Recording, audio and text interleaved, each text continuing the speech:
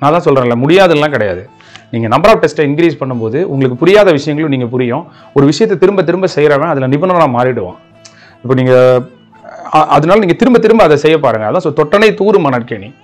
மாந்தருக்கு கற்றனை தூரும் அறிவுங்கிறது போல் நாம் வந்து ஒரு செயலை தொடர்ந்து செய்யும் போது அதில் சக்ஸஸ் பண்ணுறதுக்கான வே வந்து அவங்க இப்போ இப்போ நான் வந்து நம்ம என்ன பெருசாக சாதிச்சிட்டோம் அப்படின்னு நம்ம இங்கே என்னதான் நம்ம ஒர்க் பண்ணாலுமே நமக்கு அடையாளம் என்னவா அடையாளம் என்னவா இருக்குது ஒரு டெசிக்னேஷன் வாங்குறது தான் இப்போ நான் என்ன டெசிக்னேஷன் வச்சுருக்கேன்? எதுவுமே இல்லை. நீங்கள் உங்களுக்கு டியூட்டராக இருக்கிறத தவிர வேறு ஒன்றும் இல்லை.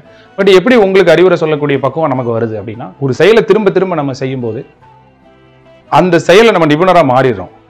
புரியுதுங்களா? நம்ம ஒரு என்ன ப்ரிடிக்ட் பண்ணுறோமோ அது நடக்கும். அது கிட்டத்தட்ட அந்த அதுதான் அந்த எக்ஸ் அந்த எக்ஸ்பீரியன்ஸ் அப்படிங்கிறது. அது ஒரு வேல்யூபிளானது ஓகேயா அது நம்ம பார்த்துக்கணும். ஓகே ஸோ அதாவது அனுபவத்தில் இருக்கிறவங்க எல்லாருமே அந்த அனுபவத்தை பயன்படுத்தி ஒரு திறமையை ஜொலிக்க வைக்க முடியும்னு சொல்ல முடியாது.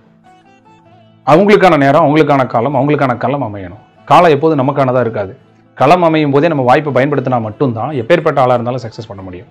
அந்த களத்தை சரியாக பயன்படுத்தலைன்னா நிச்சயமாக நம்ம வந்து சக்ஸஸ் பண்ண முடியாது தான் பட் இருந்தாலும் நம்ம ஒன்று ஏறி போவோம் இல்லைன்னா ஏனியாக இருந்துருவோம் நம்ம நினைக்கிறத விட சந்தோஷம் இந்த லைஃப்பில் வேறு ஒன்றுமே கிடையாது. ஒன்று நாம் வந்து கற்றுக்கொள்கிறோம் இல்லைன்னா கற்றுக் கொடுக்குறோம்னு நினச்சி தான் நம்ம நம்ம பயணத்தை தொடங்கியிருக்கோம். இதா உண்மையை சொல்லப்போனால் இது அதை விட ரொம்ப சாட்டிஸ்ஃபைடாக இருக்குது தம்மின் தம்மக்கள் அறிவுடைமை மாநிலத்து மண்ணுயிருக்கெல்லாம் இனிதும்பர் வள்ளுவர்.